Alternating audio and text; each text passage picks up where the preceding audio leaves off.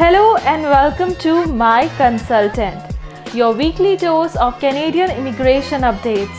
We will start today's episode by disclosing Canada's latest immigration decisions on parents and grandparents' visa, followed by four provinces that have recently issued invitations for provincial nominee program, and federal government's record transfers. Next, I will share how IRCC is ensuring gender equality and Tashina will share Canada's expansion of pilot program to include skilled refugees.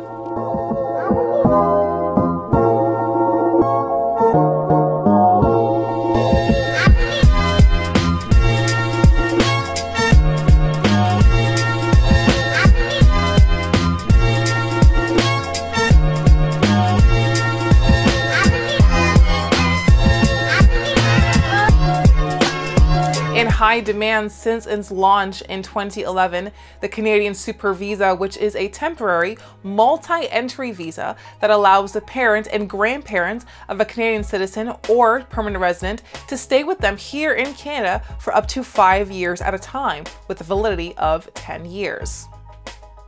However, in August 2022, Canada introduced some unexpected changes to the visa program that resulted in some backlash including an online petition that was submitted to the Canadian government. The petition argued that the new payment system was punitive towards families seeking to be reunited, and that this new decision was resulting in fewer applications being granted. Among the changes was the condition that applicants are now required to pay the full medical insurance amount upfront annually. The price for insurance coverage does vary depending on age, but on average, the price for a 65 year old would be around 1500 and higher if the applicant is older. Previously to this change, applicants were allowed to pay the medical insurance amount in installments on a weekly basis, a much more wallet friendly request. Well, in the wake of this, and maybe the holiday spirit, the Canadian government has recently announced the reversal of its decision. Families can once again pay the parent and grandparent Super Visa medical insurance in monthly installments. The move has been welcomed by applicants, insurance, and immigration experts as a way to make it easier for families to reunite. Four Canadian provinces British Columbia, Quebec, Manitoba, and Prince Edward Island have recently issued invitations to apply to interested candidates through provincial immigration.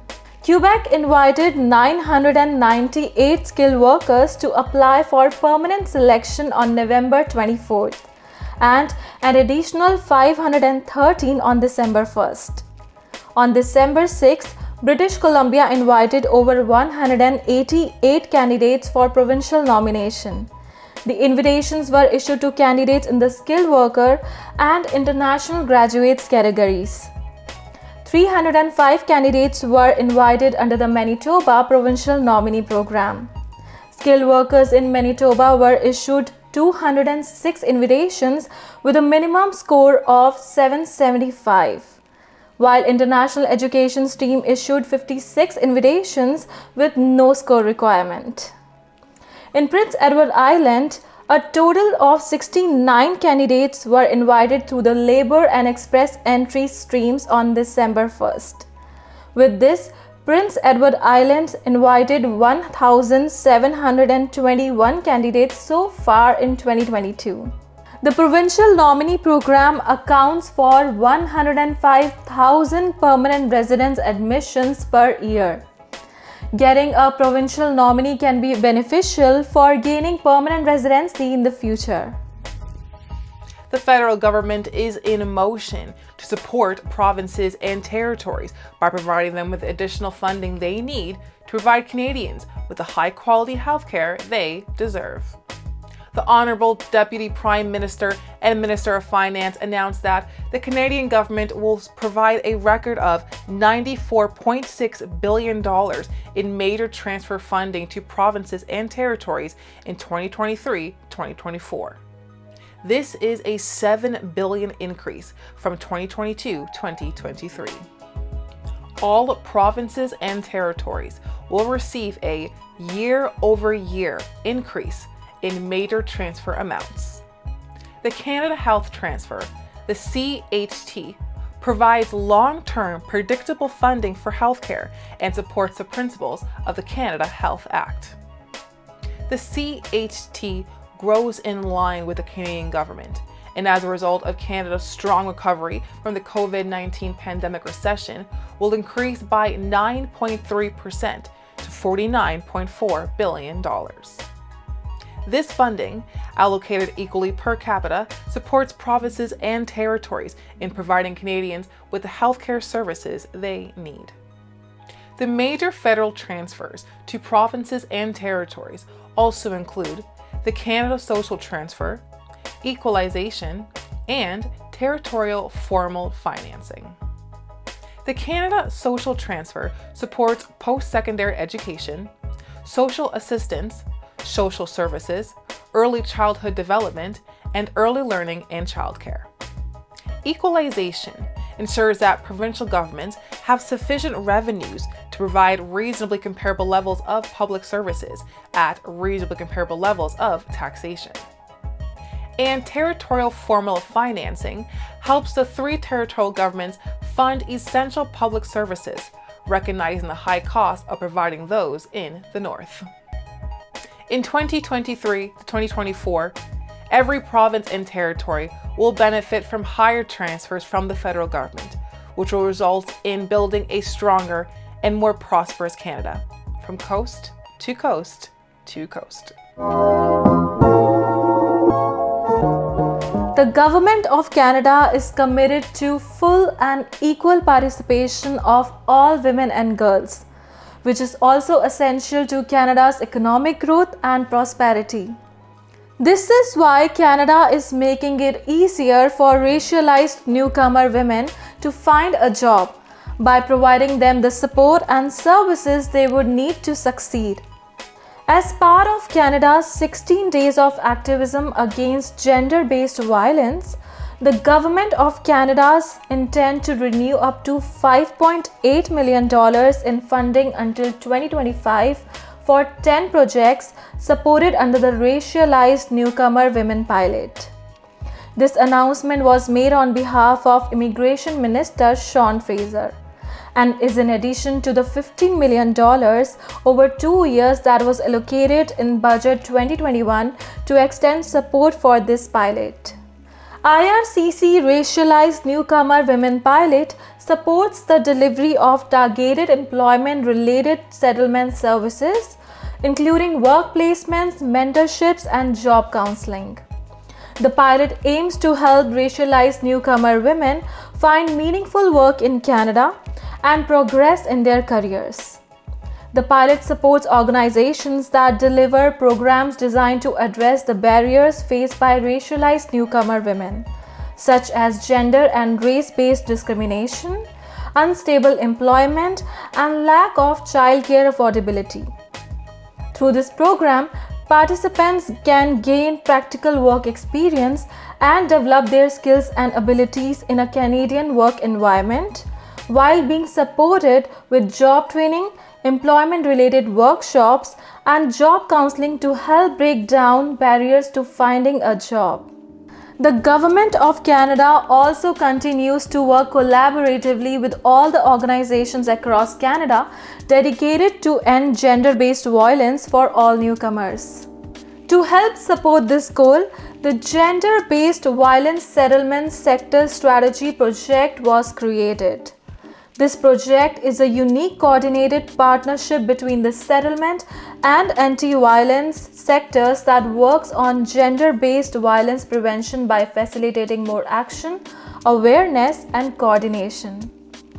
The project builds the capacity of frontline settlement sector workers to effectively respond to gender based violence and offers enhanced services for newcomers and refugees through information, training, and tailored resources related to gender based violence. Immigration Minister Sean Fraser says that racialized newcomer women face significant challenges in entering the workforce. Through this pilot, the Government of Canada wants to prevent and end gender based violence by ensuring that there is gender equality across all sectors. As the world faces its worst global refugee crisis in recent history, Canada continues to do its part.